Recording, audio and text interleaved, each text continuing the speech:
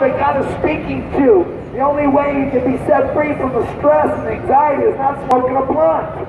It's making peace with God. You have no peace. That's why you can't sleep. Many of these can't sleep. Many of these people can't sleep. They listen to music. They pop sleeping pills. They take they take drugs. They drink. A lot of these people. You know why?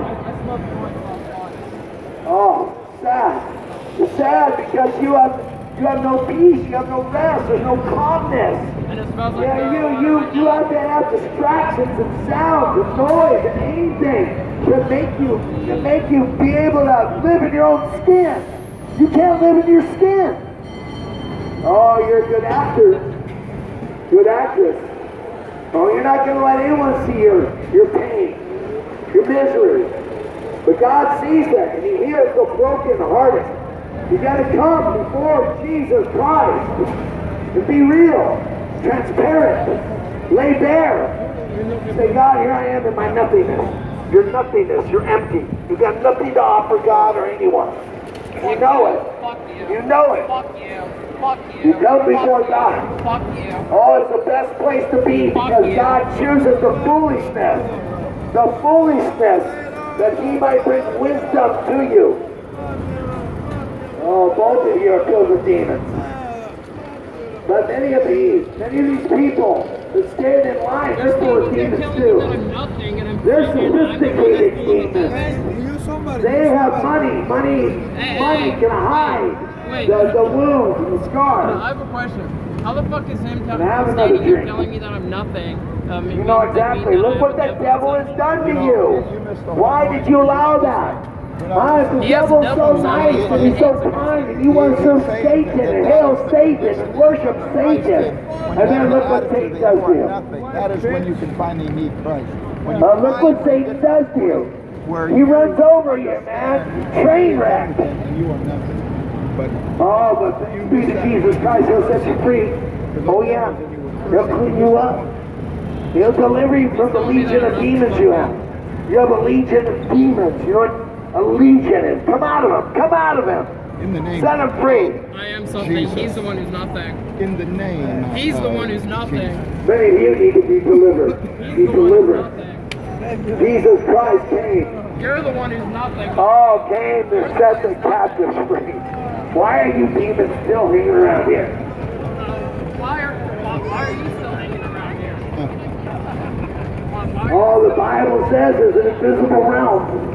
You're made of spirit, soul, and body. All that wicked spirits, all the evil imagination, all those cheeky and weird and strange things that float into your mind. why, why I'm still You embrace them. You're wondering why I'm still here, why are you still here? You're still here because God is speaking to you. That's right. You're still here because you are going to be a vessel of God's mercy. Why the fuck are you? Many of them that just just try to ignore me, they're trying to ignore God. They're trying to ignore their conscience. They're vessels of destruction. Yeah, you gotta see your nothingness. You gotta see nothingness. No, no. I mean, I want you to get saved. I want you to get saved, delivered, set free. You're in bondage. You're stuck in the drinking 60s. You need to get set free and come into the kingdom of God. Amen. The kingdom of God comes within. The kingdom of God. Wait, wait. Because you're going to burn in hell. I don't want you to burn in hell. I want you to be delivered. You've been, you've been blinded. You've been bewitched. You understand you're caught up in a lie. You've been deceived. I'm bringing you truth so that you will not believe the lie. No, God did not make you this way. Your choices. Your choices. No, it's not a joke. You sin against God. You sin to God. Would you go to hell? Wait, wait, I, also have another question. No, don't do it. Don't do it. Not a joke. I'm a born again Christian. If you are not a born again Christian, hey, God bless you. You will not enter the kingdom of God. You're going to die. You're going to stand before God. You're going to be judged by the living God. And if Jesus Christ is not your Lord and Savior, if He is not the one that's washed away your sin, your guilt, if you do not have faith in Him, where you trust in Him, you obey Jesus Christ, you will spend eternity in hell. Has anybody told you? Has anybody told you? Has anybody told you about hellfire? Has anybody told you about damnation? Has anybody ever told you about being tormented and tortured for eternity? Did you not know there's life after death? What, you think it's just, you can do whatever you want? Hey, hey, watch, watch, watch. It's real. The Bible's real. It speaks. Holy Bible. Holy Bible speaks about a holy God. Abracadabra, Holy God. magic trick. Magic No, this isn't magic, man. This is truth. No, no. This truth will set you free. This is magic. Look This right truth. Look right here. Holy Bible. Holy God. Sent the Holy Spirit for you to live holy. It's all about holiness. Don't continue to live filthy. Don't be a lesbian. No, don't don't do it. Don't do that which is ungodly. No, don't don't try to be a seducer. Seductive. Oh no. No, do what is holy. Do what is righteous and good and pure. Oh, I said before you right here. Here it is. Life. Eternal life. Abundant life. Everlasting life. You can experience life today. You're not preaching love. Yes, you're can walk with God. You can walk down that path that drips with abundance. You can walk down that path with the inheritance. I have an inheritance. I have a future, What you destiny. are, what you guys are doing God is has preaching prepared a place for me. Not Oh, the new heaven, preaching new earth. Righteousness is going to dwell. saying people can't do No more rebellion, no more violence, no more crime, no more drugs, no more prostitution, no more whores, no more disease. Oh, it's going to be beautiful on that day when the wicked, the wicked are no more. On that day, the righteous are going to see and fear. Then they can say, Is this the man who made not God his strength and trusted in the abundance of his riches and strengthened himself in his wickedness? That's you. You strengthen yourself in your wickedness, but you don't know on that day. On that day, the righteous are going to rejoice and receive the vengeance of God. Hallelujah. They're going to wash their feet in the blood of the wicked. It's like you. It's like you living a, a life of rebellion against God, hatred towards God. And you, you cut down my God.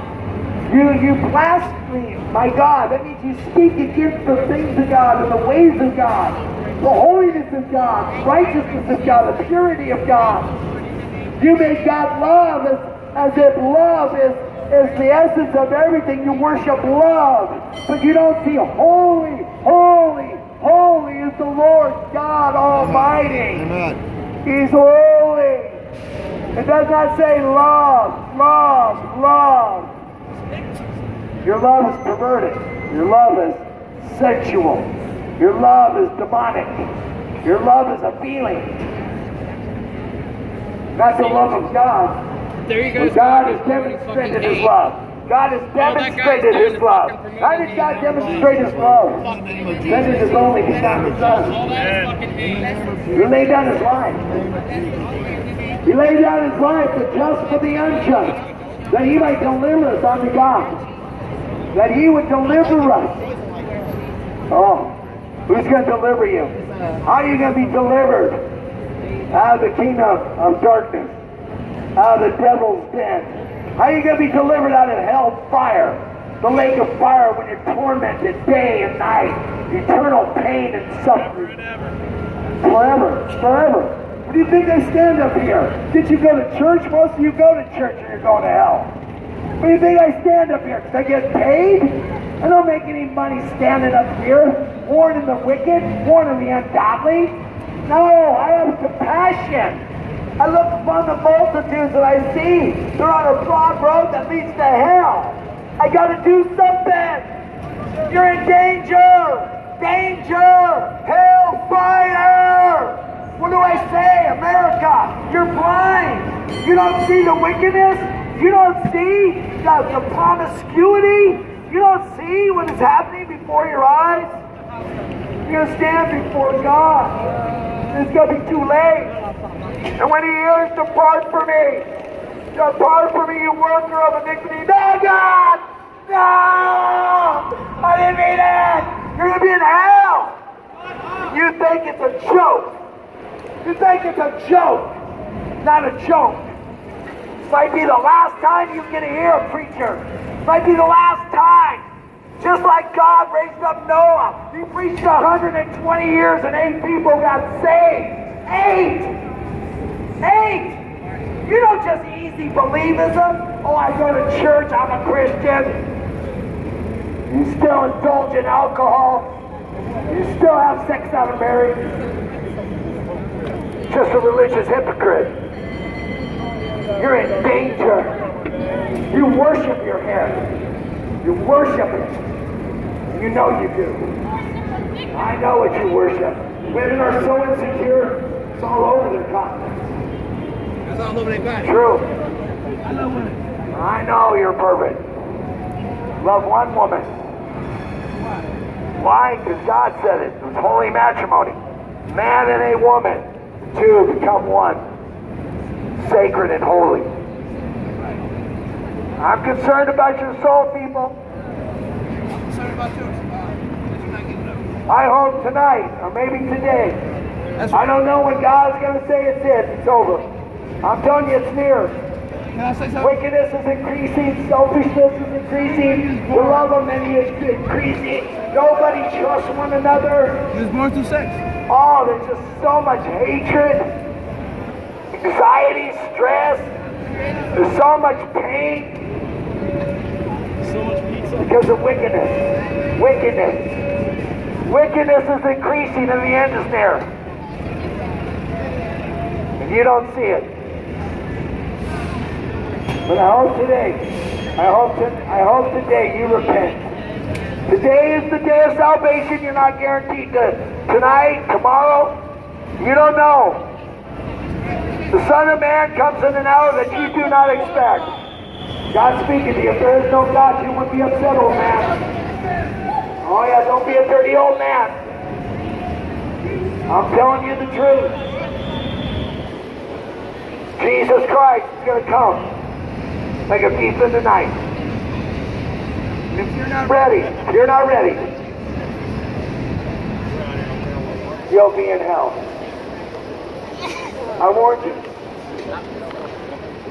Repent, believe in Jesus Christ who cleanses you from all of your unrighteousness.